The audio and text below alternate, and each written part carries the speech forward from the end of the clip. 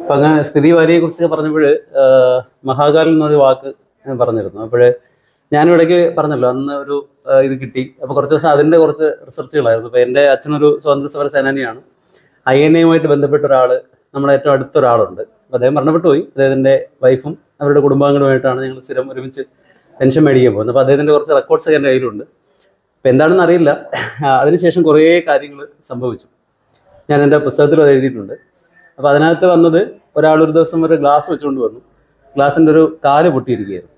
അപ്പോൾ അതൊരു കോയിൻസിഡൻസ് ഇരുപത്തിമൂന്ന് എന്ന് പറഞ്ഞ സംഖ്യയുടെ ഒരു കോയിൻസിഡൻസ് അപ്പോൾ ഈ പുള്ളി വന്നിട്ട് സംസാരിച്ചത് ഇദ്ദേഹത്തെക്കുറിച്ചായിരുന്നു നേതാജിയെക്കുറിച്ചാണ് അപ്പോൾ മാത്രമല്ല നേതാജിയുടെ ഒരു ആടിന്റെ ഫാനാണ് പുള്ളി. അപ്പോൾ അങ്ങനെ ഞങ്ങൾ ഒരു പുസ്തകത്തിലേക്ക് എത്തി. ഇന്ത്യാസ് ബിഗസ്റ്റ് കവർപ്പ് എന്നൊരു ബുക്കുണ്ട്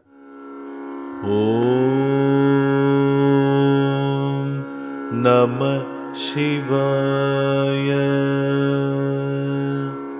ॐ नमः शिवाय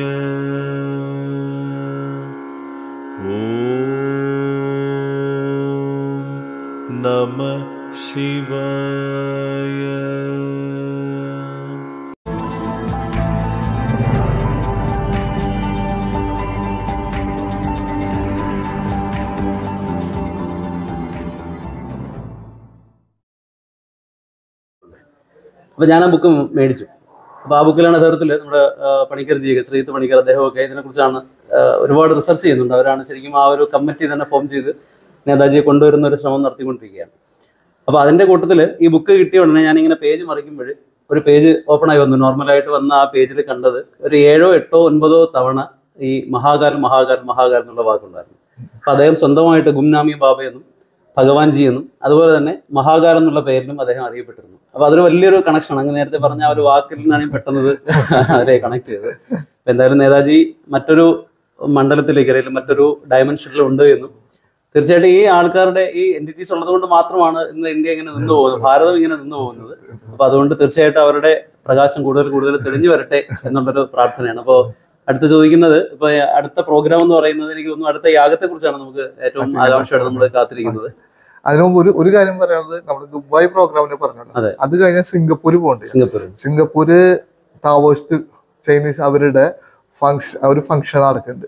അതിന്റെ ചീഫ് ഗസ്റ്റ് ആയിട്ട് എന്നെ വിളിച്ചു അത് നമ്മൾ ആദ്യം നമ്മുടെ ഇംഗ്യാ യാഗത്തിന് അവരെ ക്ഷണിച്ചു. അത് കഴിഞ്ഞാൽ അവർ എന്നെ ക്ഷണിച്ചു. അത് കഴിഞ്ഞാൽ ഉജ്ജയിനിലേക്ക് അവർ വന്നിട്ടുണ്ടായിരുന്നു.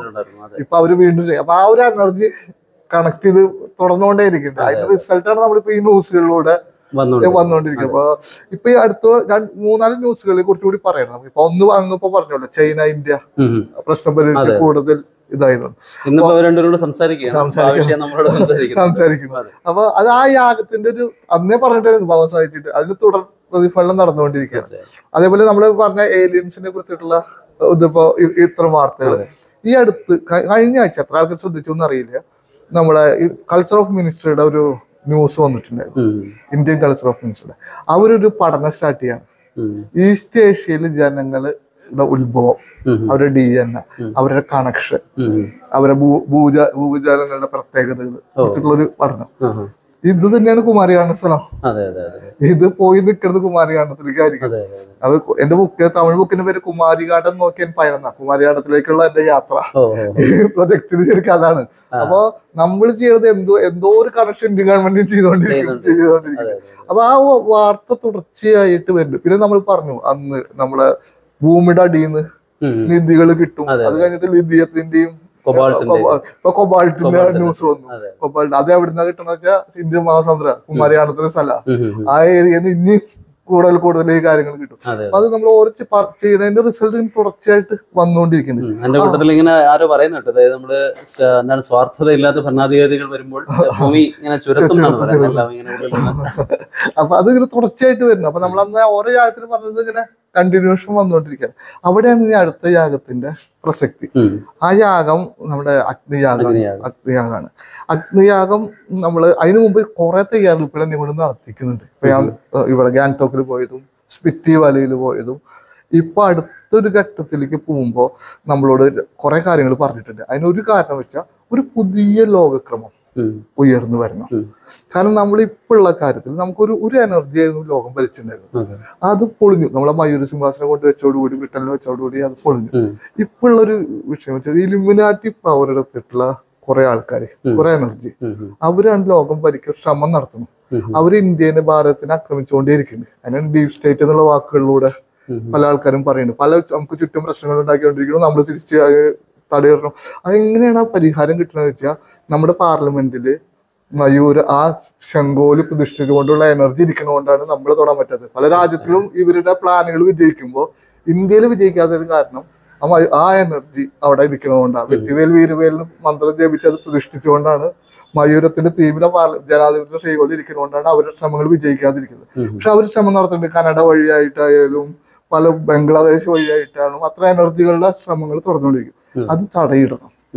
ആ എനർജി ഡീപ് സ്റ്റേറ്റിന്റെ എനർജി തകർക്കാൻ വേണ്ടിയിട്ടാണ് മുരുകപാന്റെ അനുഗ്രഹത്തിൽ അടുത്ത യാഗം പോകുന്നത്. ഇന്ന് ഇന്ത്യനെ ആർക്കും തൊടാൻ പറ്റാത്ത ലെവലിലേക്ക് ഇന്ത്യനെ ഉയർത്താനാണ് ഇത് ചെയ്യാൻ പോകുന്നത്. എന്റെ കൂട്ടത്തിൽ ഒരു കാര്യം പറഞ്ഞോട്ടെ? കാരണം വെച്ച് കഴിഞ്ഞാൽ ഈ ഡാർക്ക് ഫോഴ്സസ് എല്ലാ കാലഘട്ടങ്ങളിലും ഉണ്ടാവും. കാരണം ദേവന്മാരുണ്ടായിരുന്ന സമയത്ത് അസുരന്മാരുണ്ടായിരുന്നു. തീർച്ചയായിട്ടും ദൈവങ്ങളെ എല്ലാം അടിച്ചു ഓടിച്ചിട്ട് അസുരന്മാർ അതിന്റെ മുകളിൽ കയറിയിരുന്നു. നമ്മുടെ ഈ നവരാത്രി കാലഘട്ടത്തിൽ നമ്മൾ കണ്ടതാണ്. ദേവി പ്രകാരം വന്നാണ് ഈ പറയുന്ന ചണ്ട മുണ്ടന്മാരെയും അതുപോലെ തന്നെ ഇവരെല്ലാം നിഷ നിഗ്രഹിച്ചെന്നുള്ള കഥ മഹിഷാസുരനെ നിഗ്രഹിച്ച കഥയൊക്കെ നമ്മൾ കേട്ടിട്ടുണ്ട്. അപ്പോൾ അതുപോലെ ചൈന എന്ന് പറയുന്നത് നമ്മുടെ ഒരു വാസ്തു വിദഗ്ധനായ അദ്ദേഹം പറഞ്ഞത് ഈ ലോകത്തിന്റെ കന്നിമൂല എന്ന് പറയുന്നത് ശരിക്കും പറഞ്ഞാൽ ചൈനയാണ് വരുന്നത്. അപ്പോൾ ചൈനയുടെ ശക്തി ഉണർന്നു കഴിഞ്ഞാൽ പിന്നെ അവർക്ക് അവരെ ആർക്കും നമുക്ക് ടൈം ചെയ്യാൻ പറ്റും പക്ഷെ ഇപ്പോൾ ചൈന ഭരിക്കുന്ന അല്ലെങ്കിൽ ഇപ്പോഴും ചൈനയിൽ നിലനിൽക്കുന്ന വ്യവസ്ഥിതി ഡിവൈൻ ആണോ ഡെമോണിക് ആണോ എന്ന് നമുക്കറിയില്ല. പക്ഷേ ചൈന എന്ന് പറയുന്ന ആ ഭൂപ്രവിശ്യ എന്ന് പറയുന്നത് അത്രയും ഇമ്പോർട്ടന്റ് ആണ്.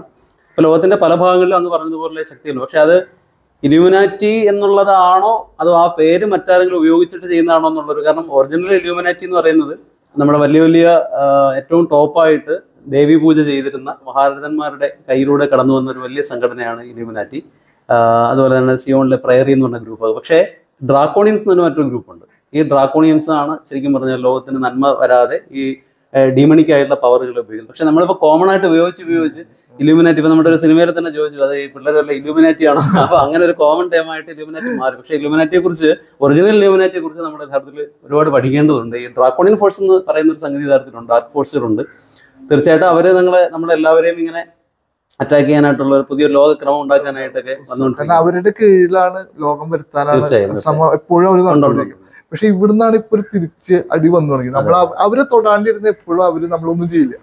അവർ അവരുടെ മേധാവിത്വം അംഗീകരിച്ച് നമുക്ക് എന്ത് വേണമെങ്കിൽ സ്വാതന്ത്ര്യം കിട്ടും. പക്ഷെ അവരുടെ മേധാവിത്വത്തിന് എതിർ വെച്ച പ്രത്യേകിച്ച് ഡോളറിനെ ഒക്കെ തൊട്ട് കഴിഞ്ഞാൽ അവർ ഒരിക്കലും വെറുതെ അതെ ഇന്ത്യ അത് ചെയ്തു തുടങ്ങി. ഇപ്പോ അതെ. അതിന്റെ എഫക്റ്റ് അവർ തിരിച്ച് പല രീതിയിൽ ശ്രമിക്കും. പക്ഷെ അതിന് തടയിടണം. ആ- അതിന് തകർക്കാനുള്ള യാഗമാണ് ഇനി നമ്മുടെ അഗ്നിയാഗം. ദുര്യോധനം നടത്തുന്നത്. അപ്പൊ അവിടെ ആ യാഗം നടന്നു കഴിഞ്ഞാൽ പിന്നെ ആ ശക്തിക്ക് ഒന്നും ചെയ്യാൻ പറ്റില്ല. അപ്പൊ അതിനു മുമ്പ് കുറച്ച് കാര്യങ്ങൾ ചെയ്യാനുണ്ട്. അതിന് ആദ്യത്തെ ഒരു സ്റ്റെപ്പ് ഈ ഡിസംബർ പതിമൂന്ന് കാർത്തിക നാളിലാണ്. കാർത്തിക എന്നുള്ളത് തിരുവണ്ണാമല ഇമ്പോർട്ടന്റ് ഉം. കാർത്തിക ദീപം ഒന്ന് കൊളുത്തും. അതെ. കാണാൻ ലക്ഷക്കണക്കിന് ആൾക്കാര് വരും അത് ആ ദിവസം ഡിസംബർ പതിമൂന്നിന് നമ്മൾ കാലത്ത് നമ്മളൊരു നമ്മുടെ ഒരു ഫ്ലാഗ് പഴനിയിൽ ഉയർത്തുക. ഏഴുമണിക്ക് കാലത്തെ ഏഴ് മണിക്ക്. കാലത്തെ ഉം. കാലത്ത് ഏഴ് മണിക്ക് ഡിസംബർ പതിമൂന്നിന് വെള്ളിയാഴ്ചയാണ് അത് വരുന്നത്. ആ കാലത്തെ ഏഴ് മണിക്ക് ഉയർ അത് എത്ര അടി എഴുപത് അടി ഉയരത്തിലാണ്. അതായത് പഴനിലേക്ക് എന്റർ ആകുമ്പോൾ നമ്മുടെ ഫ്ലാഗ് കാണാൻ പറ്റും. പഴനിമലയുടെ ചേർന്നുകൊണ്ട് ഒരു സ്ഥലം നമ്മൾ എടുത്തു അതിന് വേണ്ടിയിട്ട്. ബൈപ്പാസ് റോഡിൽ. കൊടൈക്കനാൽ ബൈപ്പാസ് റോഡിൽ അവിടെ ഒരു ചാക്കിട സിദ്ധരുടെ സമാധി ഉണ്ട് സിദ്ധ അതിന് തൊട്ടപ്പുറത്തെ സ്ഥലം നമ്മൾ എടുത്തു അപ്പൊ അത് നമുക്ക് അപ്പൊ ആ സിദ്ധരുടെ നമ്മുടെ തൊട്ടടുത്തുള്ള സ്ഥലം. അവിടെ നോക്കിയാൽ പഴനിമല കാണാം. ഒരു എഴുപത് അടി ഉയരത്തിൽ അന്ന് നമ്മൾ അത് ഫ്ലാഗ് ഉയർത്തുകയാണ്. അപ്പൊ പഴനിലേക്ക് ആകുമ്പോൾ നമ്മുടെ ഫ്ലാഗ് കണ്ടിട്ട് അത് അതെ എന്തിനാന്ന് വെച്ചാൽ ഞാൻ വീണ്ടും പറയുന്നത് നമ്മൾ ഫ്ലാഗ് വെക്കുന്നത് ഒരു എനർജി ട്രാൻസ്ലേഷൻ ആണ്. കുമാരികാണ്ട് പീപ്പിൾക്കുള്ള ഉം. ടൈമായി ടൈമായി വരേണ്ട ടൈമായി എന്ന് കാണിക്കാൻ വേണ്ടി. അന്ന് വെച്ചിട്ടുണ്ടായിരുന്നു നമ്മൾ രണ്ടു കൊല്ലം. അന്ന് ഞാൻ പറഞ്ഞിട്ടുണ്ടായിരുന്നു. അതിനുശേഷം നമ്മൾ ഇത്ര ന്യൂസുകൾ കേൾക്കുന്നത് അന്ന് കാലത്ത് ഏഴു മണിക്ക് നമ്മൾ റൈസ് ചെയ്യും. ആ, പരിപാടിക്ക് അങ്ങേ ക്ഷണിക്കുന്നു. ഇതിലെല്ലാം നമ്മുടെ ഈ എസ് ബാലനോറിന്റെ എല്ലാ പ്രേക്ഷകരെയും ക്ഷണിക്കുകയാണ്. അന്ന് വൈകിട്ട് നമ്മൾ ഏഴു മണിക്ക് വൈകിട്ട്. ഏഴു മണിക്ക് നമ്മൾ ദീപം കയ്യിൽ വെച്ചിട്ട് ഗിരിവനം ചെയ്യും. അഗ്നിയാ അഗ്നിയാഗത്തിന്റെ ഇതായിട്ട് എല്ലാവരും ദീപം കയ്യിൽ വെച്ചിട്ട് ഗിരിവനം ചെയ്യും. രാത്രി ഏഴു മണിക്ക്. നമ്മുടെ പാതവിനായർ കോവിലിന്റെ അവിടെ സ്റ്റാർട്ട് ചെയ്തിട്ട് ഗിരിവനം. അതെ, നമ്മൾ എന്തിനാ ഗിരിവനം ചെയ്യുക വെച്ചാൽ നമ്മുടെ രണ്ടാമത്തെ വിഗ്രഹം ഉണ്ടല്ലോ. ഗോവർനാഥർ സിദ്ധരുടെ അതിലുള്ള ഡാർക്ക് എനർജി ഡാർക്ക് മാറ്ററിൽ വെച്ചിട്ടുള്ള ആ വിഗ്രഹത്തിനാണ് നമ്മൾ വണങ്ങിയിട്ടാണ് നമ്മൾ ആ ഗിരിവനം ചെയ്യുന്നത് കാരണം ആ വിഗ്രഹത്തിന് അനുഗ്രഹം എനർജി നമുക്ക് കിട്ടണം. നമ്മൾ നമ്മുടെ അടുത്ത വിജയകരമായി പൂർത്തിയാക്കാൻ വേണ്ടിയിട്ട് അത് ആ വിഗ്രഹത്തിന് വണങ്ങാൻ വേണ്ടിയിട്ടാണ് പ്രാർത്ഥിക്കാൻ വേണ്ടിയിട്ടാണ് നമ്മൾ ആ രാത്രിയിൽ. ദീപം തെളിയിച്ച് ആ വിഗ്രഹത്തിനാണ് നമ്മൾ അന്ന് പ്രാർത്ഥിക്കുന്നത്. അത് കഴിഞ്ഞ് പത്ത് മണിക്ക് രാത്രി പത്ത് തൊട്ട് പന്ത്രണ്ട് മണി വരെ നമ്മൾ ഒരു വലിയ ഹോമം നടത്തുകയാണ്. മുരുക ഹോമം. നമ്മുടെ യാഗത്തിന് മുമ്പുള്ള സ്റ്റെപ്പായിട്ട്. പത്ത് ഹോം എമൗണ്ട് ഉണ്ടാവും. പത്ത് ഹോമം ഉണ്ടാവും. അതിൽ. അഞ്ച് ഹോം എമൗണ്ടത്തിൽ അവിടെ വരുന്ന എല്ലാ ആൾക്കാർക്കും. മുരുകനെ പ്രാർത്ഥിച്ചിട്ട് ഭാരതത്തിന് വേണ്ടിയിട്ട് ഒരു നെയ്യ് സമർപ്പിക്കാനുള്ള അവസരം കൊടുക്കും. അവസരം ഉണ്ടാവും. അതായത് എന്റെ രാജ്യം നന്നാവണം എന്ന് പ്രാർത്ഥിച്ചിട്ട് മുരുകവാന് പ്രാർത്ഥിച്ചിട്ട് നെയ്യ് സമർപ്പിക്കുക. അതിനുള്ള അവസരം നമ്മൾ കൊടുക്കണം. പത്ത് പത്ത് ഹോം എമൗണ്ട് ഒരുക്കിയിട്ട് എല്ലാവർക്കും വേണ്ടിയിട്ടാണ് ചെയ്യുന്നത്. അപ്പൊ ആ പുതിയ അല്ല നമ്മൾ പുതിയ സ്ഥലം കാരണം ആൾക്കാർ തീർച്ചയായും കൂടും. കുറച്ചുകൂടെ എല്ലാവർക്കും സൗകര്യം കൊടുക്കാൻ വേണ്ടി വേറെ സ്ഥലം നോക്കണം. വെന്യൂ എന്തായാലും നമ്മുടെ എല്ലാമാർക്ക് ഈ പറഞ്ഞ പോലെ ഫേസ്ബുക്ക് പേജിൽ വെബ്സൈറ്റിൽ നമ്മുടെ വാട്സപ്പ് ഗ്രൂപ്പിലൊക്കെ വെന്യൂ ഇടും. ഡിസംബർ പതിമൂന്ന് കാർത്തിക. അപ്പൊ ഈ മൂന്ന് രണ്ട് മൂന്ന് പരിപാടി ഉണ്ട് കാലത്ത് ഏഴ് മണിക്ക് ഫ്ലാഗ് റൈസ് ചെയ്യണത്. വൈകിട്ട് ഏഴ് മണിക്ക് ഗിരിവലം നമ്മുടെ രണ്ടാമത്തെ മുരുകാന്റെ വിഗ്രഹം പ്രാർത്ഥിക്കാൻ വേണ്ടിയുള്ള ഗിരിവലം അത് കഴിഞ്ഞ് നമ്മൾ ദീപം കൈപ്പിടിച്ചുള്ള ഗിരിവലം വെക്കും. രാത്രി പത്ത് തൊട്ട് പന്ത്രണ്ട് മണി വരെ നമ്മൾ ഈ പത്ത് ഹോമകുണ്ടത്തിൽ നമ്മൾ രണ്ടാമത്തെ മുരുകാനെ പ്രാർത്ഥിച്ച് ഭാരതത്തിന് വേണ്ടിയിട്ടുള്ള ഹോമം ഒരുക്കും. ഇത് അഗ്നിയാഗത്തിന് മുന്നോടിയായിട്ട്. ഇത് എല്ലാത്തിനും അങ്ങേ ക്ഷണിക്കുന്നു. എല്ലാ പ്രേക്ഷകരും ഞാൻ ക്ഷണിക്കുകയാണ്. ഇത് എവിടെയാന്നുള്ള കാര്യങ്ങളൊക്കെ എല്ലാ ഡീറ്റെയിൽസും എല്ലാമാർക്ക് വാട്സപ്പ് ഗ്രൂപ്പിലും ഫേസ്ബുക്കിലും ഉണ്ടാവും. എല്ലാമാർക്ക് ഇതിൽ ജോയിൻ ചെയ്യാൻ നേരത്തെ പറഞ്ഞ പോലെ നമ്മുടെ വെബ്സൈറ്റിൽ രജിസ്റ്റർ ചെയ്താൽ മതി. ഓട്ടോമാറ്റിക്കായിട്ട് ജോയിൻ ആവും അപ്പൊ ആ അത് കഴിഞ്ഞു കഴിഞ്ഞാൽ ആ ഒരു പരിപാടി കഴിഞ്ഞ പിന്നെ അടുത്ത രണ്ട് സ്റ്റെപ്പ് എന്ന് പറഞ്ഞാൽ നമ്മൾ ഇംഗ്ലണ്ടിൽ രണ്ടായിരത്തി പതിനെട്ടിൽ പ്രതിഷ്ഠിച്ചു അതെ. അതെന്തിനാന്ന് വെച്ചാൽ ആ സീറോ ടൈംസ് അവിടുന്ന് മാറി ആ എനർജി ഭാരതത്തിൽ ഉജ്ജയിനിലേക്ക് വരണം. ആ നമ്മൾ ഉയർന്ന ലെവലിലേക്ക് വരണം. അപ്പൊ അതിന്റെ റിസൾട്ട് കിട്ടി തുടങ്ങി.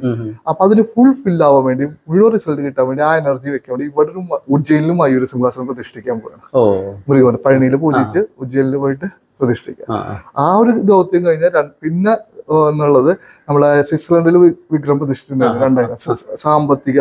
ഇതിന് വേണ്ടി. അതിനുശേഷമുള്ള റിസൾട്ട് കണ്ടറിയാം. ഇപ്പൊ നമ്മൾ മൂന്ന് ഏറ്റവും കൂടുതൽ സ്വർണ ശേഖരമുള്ള മൂന്നാമത്തെ രാജ്യമായിട്ട് മാറി. നമ്മുടെ ഉയർന്നുയർന്ന് പോവാണ്. ലോകത്തിന്റെ സാമ്പത്തിക ശക്തിയിൽ മൂന്നാം സ്ഥാനത്തേക്ക് നമ്മൾ വന്നുകൊണ്ടിരിക്കുന്നു. വന്നുകൊണ്ടിരിക്കുന്നത് അപ്പോ അത് ഫുൾഫിൽ ആവാൻ വേണ്ടിയിട്ട് അതേപോലത്തെ വിഗ്രഹം പഴനിയിൽ പ്രതിഷ്ഠിക്കുകയാണ്.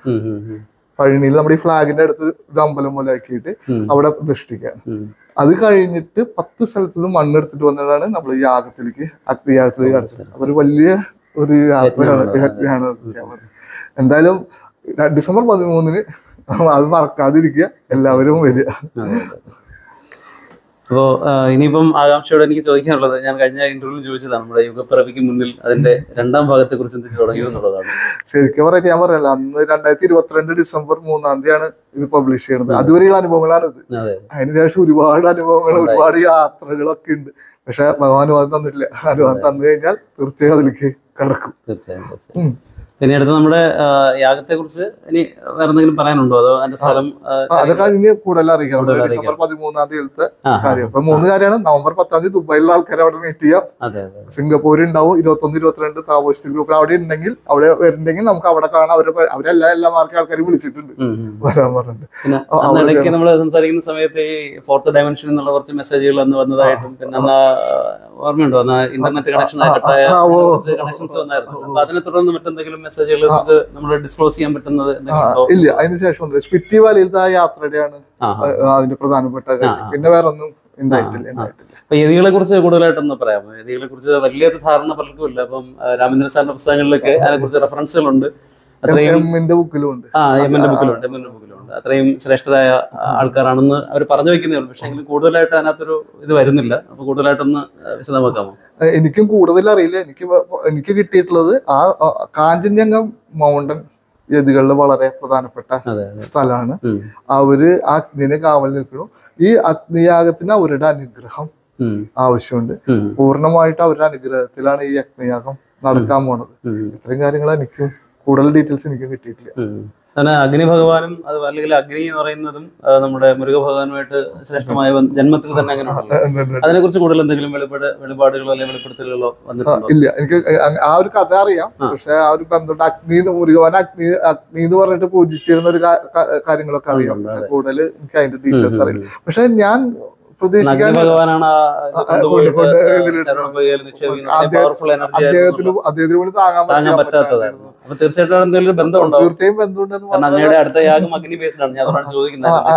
അത് എന്താ പറയാ എന്നെ അത്ഭുതപ്പെടുത്തിയിട്ട് ഈ യാഗത്തിന് വലിപ്പം കൂടി വരുന്നതാണ്. ഞാൻ ഏറ്റവും അത്ഭുതത്തോട് നോക്കിയിരിക്കുന്നത്. ഞാൻ ഒരിക്കലും കഴിഞ്ഞ- യാഗങ്ങളെ പോലെ ഒരു യാഗം നിന്ന് മാത്രം ടൈം യാഗ കാലം എന്നുള്ളതിന് ഭയങ്കര ഒരു ഇത് വരുന്ന വിചാരിക്കും. പക്ഷെ ഇത് വലുതായി വലുതായി ഭയങ്കര അത് നമ്മൾ എപ്പോഴും അതേ മുരുകൻ എപ്പോഴും നമ്മൾ ചിന്തിക്കണേക്കാട്ടിലും നമ്മൾ നമ്മളൊരു പരിപാടി ചെയ്യുമ്പോൾ നമ്മൾ ചെറിയ അളവിൽ ചിന്തിക്കുക അതൊരു വലുതായി വലുതായിട്ട്. കൊണ്ടുപോകും. അത് വലിയൊരു അനുഗ്രഹമാണ് അതെ, അതേപോലെ ഇത് വലിയൊരു ലെവലിലേക്ക് പോകണം റിസൾട്ട് അതിന്റെ ഉദ്ദേശം ഭയങ്കര. അതായത് പുതിയൊരു ലോകക്രമം. പടിഞ്ഞാറിനെ തള്ളി ഇന്ത്യ ചൈന റഷ്യ എന്നുള്ളൊരു കണക്ഷൻ അതെ അതെ അത്. അതിലേക്ക് പോകണ ഒരു പുതിയ ലോകക്രമം ഉയരാൻ പോവാണ്. അപ്പൊ എന്ന് പറഞ്ഞു കഴിഞ്ഞാൽ ലോകത്തിനെ നിയന്ത്രിക്കാൻ പോണ ഒരു വലിയൊരു യാഗമാണ്. ശരിക്കും പഴയ ഭാരതഖണ്ഡം എന്ന് പറയുന്ന ഒരു സംഗതി ഒരുമിച്ച് വരുമായിരിക്കും അതെ, അതെ, അതെ, തീർച്ചയായും. പുതിയൊരു ലോകക്രമം പുതിയൊരു ലോകത്തെ നിയന്ത്രിക്കാനുള്ള ഒരു യാഗമായിട്ട് ഇത് അതെ. ഒരു കൊണ്ടുപോവാണ്. നമ്മുടെ ലോകങ്ങൾ ഈ ചെറിയ സെൽഫോണിൽ ഒതുങ്ങി ഒതുങ്ങിപ്പോണെങ്കിലും ലോകത്തിന് ഒരുപാട് വലിയ വലിയ കാര്യങ്ങൾ നടക്കുന്നുണ്ട്. ഇപ്പൊ യുദ്ധങ്ങൾ പല സ്ഥലങ്ങളിലും യുദ്ധങ്ങൾ നടക്കുന്നു. തീർച്ചയായിട്ടും ചില സ്ഥലങ്ങളിൽ ചില ശക്തികൾ കംപ്ലീറ്റ് ആയിട്ട് അനിഹിലേറ്റ് ചെയ്യുന്ന ഒരു പ്രവൃത്തി നടക്കുന്നുണ്ട്. നമ്മൾ വലുതായിട്ടൊന്നും അറിയുന്നില്ല. കാരണം നമ്മളെ ബാധിക്കുന്നെങ്കിൽ മാത്രമേ നമ്മൾ അറിയാറുള്ളൂ. പക്ഷെ ലോകത്തിന്റെ പല ഭാഗങ്ങളിലും ലോകക്രമങ്ങളിൽ തന്നെ മാറ്റങ്ങൾ വന്നുകൊണ്ടിരിക്കുകയാണ്. നമ്മൾ അറിയാണ്ട് പോണത് ഭഗവാന്റെ അനുഗ്രഹം അതെ. കാരണം പറയാ അത്രയും ശ്രമങ്ങൾ ഇപ്പൊ ഭാരതത്തിൽ നടത്തുന്നുണ്ട്. പല ഏരിയ. ഭാരതത്തിനെ തകർക്കാൻ വേണ്ടി. ഈ അടുത്താണ് ഇത് തുടങ്ങിയത്. ഈ പ്രത്യേകിച്ച് ഈ ഒരു ഒരു ഡോളറിന്റെ അത് തൊട്ട് തുടങ്ങിയ ശേഷമാണ്. പക്ഷെ അതിനെ തള്ളി മാറ്റണം. അതിനാണ് ഈ യാഗം. തള്ളി മാറ്റും ഭഗവാൻ തള്ളി മാറ്റും. അത് കാരണം അദ്ദേഹത്തിന്റെ യുഗമാണ്. അദ്ദേഹം ചിലത് തീരുമാനിച്ചിട്ടുണ്ട്. നടപ്പിലാക്കും ചെയ്യും. അതുകൊണ്ടാണ് അല്ല ഇപ്പൊ നമ്മൾക്ക് സ്വീകാര്യത വരുന്നത് നമ്മൾ ഒരു കാര്യം നടന്നിട്ടല്ലല്ലോ പറയണത്. മുമ്പേ പറയേണ്ടത് അത് നടക്കുന്നുണ്ട്. അത് നടക്കാൻ കാരണം ഭഗവാന്റെ തീരുമാനമാണ് നമ്മൾ ചെയ്യണത്. അതുകൊണ്ട് തന്നെയാണ് ഭഗവാന്റെ അനുഗ്രഹത്തിൽ ആ റിസൾട്ട് കിട്ടുന്നത്. ഇതും കിട്ടും.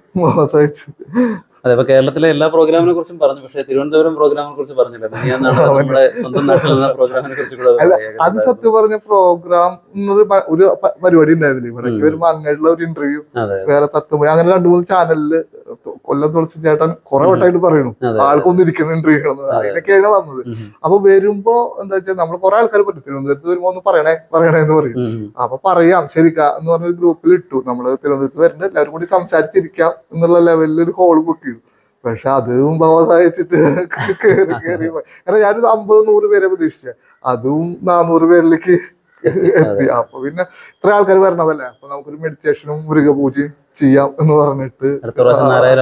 അതാവും. കാരണം അത് കഴിഞ്ഞിട്ട് അറിഞ്ഞില്ല എന്ന് പറഞ്ഞിട്ട് കുറെ പേര് പരിഭവമായിട്ട് മെസ്സേജ് അയച്ചിട്ടുണ്ടായിരുന്നു. അത്. തീരുമാനിച്ചതായിരുന്നില്ല അടുത്ത വരുമ്പോ വലിയ രീതിയിൽ ഭവ സഹായിച്ച് നടക്കും. പിന്നെ രജിതേട്ടനോട് ചെറിയ അസൂയ തോന്നി. കാരണം വെച്ചാൽ നമ്മുടെ കുറെ നാളുകൊണ്ട് ആഗ്രഹിക്കുന്ന ഒരാളാണ് ലാലേട്ടൻ. ലാലേട്ടന്റെ തൊട്ടടുത്തിരിക്കുകയും പിന്നെ വീട്ടിൽ പോയി ഇരിക്കുകയും ചെയ്തു. അപ്പൊ അതൊരു വലിയ സംഭവമാണ്. അപ്പൊ ആ ഒരു എക്സ്പീരിയൻസ് ഒന്ന് ചുരുക്കി പറയാമോ? അത് അത് പറഞ്ഞൊരു അനുഗ്രഹമാണ് നമ്മൾ ചെറുപ്പം മുതലേ ആരാധിച്ചു വരുന്നത് എനിക്ക് തോന്നുന്നത് ഈ ഇരുവർന്ന സിനിമ ഞാൻ പത്തോട്ടം കണ്ടിട്ടുണ്ട് ആ. ആ പടമാണ് ഏറ്റവും ഇഷ്ടപ്പെട്ട പടം. ഞാൻ എല്ലാ പടം ഇഷ്ടമാണ് ഇരുവർ ഇരുവർ എനിക്ക് ഒരുപാട് ഇഷ്ടപ്പെട്ടതാണ്. പത്ത് വട്ടം പത്തോട്ടം മിനിമം കണ്ടിട്ടുണ്ടാവും അത്. അതിലെ ഒരു സീൻ അതായത് ആ ഒരു പെൺകുട്ടി ഇങ്ങനെ റോസപ്പ് കൊടുക്കുമ്പോൾ ഇദ്ദേഹത്തിന് ഒരു ഹാർട്ട് അറ്റാക്ക് വരുന്ന സീനുണ്ട് അത് ഭയങ്കര ഗംഭീരമായിട്ടാണ് ചെയ്തത്. വേറെ ആർക്കും ചെയ്യാൻ പറ്റാത്ത രീതിയിൽ ചെയ്തത് അതിൽ മാത്രമല്ല അതിൽ പ്രകാശ് രാജ് സിനിമയിലേക്ക് ഇവർ രണ്ടുപേരും എത്തണം മുമ്പ്. പ്രകാശ് രാജ് ഒരു ഡയലോഗ് പറയണതിന്റെ അടുത്ത് പോകില്ല ഒന്നും മിണ്ടില്ല. ആ.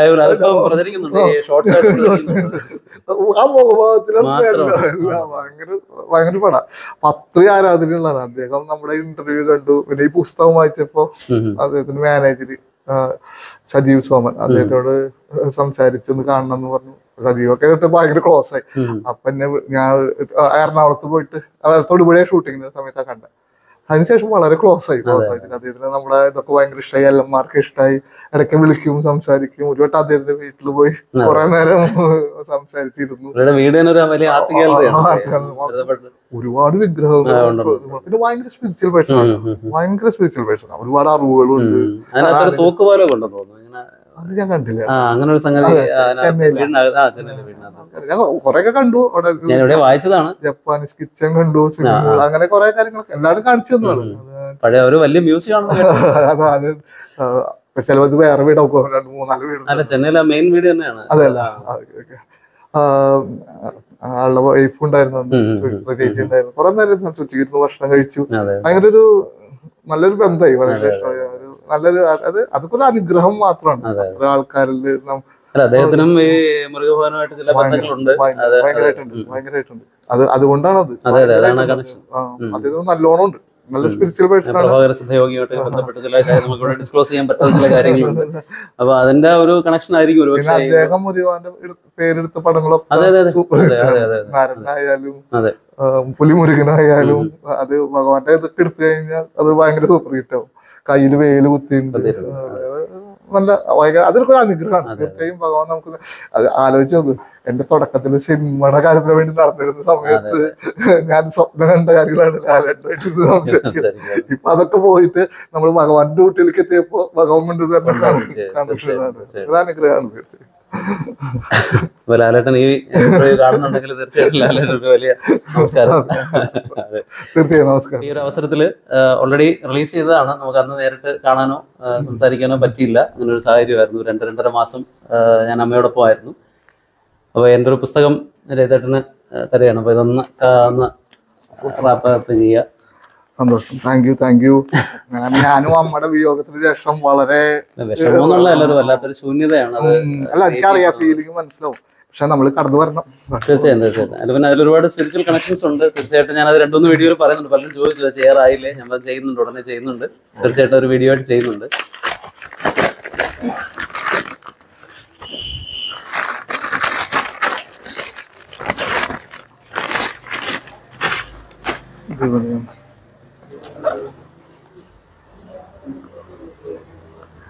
Thank you thank you okay അപ്പോൾ തീർച്ചയായിട്ടും വായിക്കണം.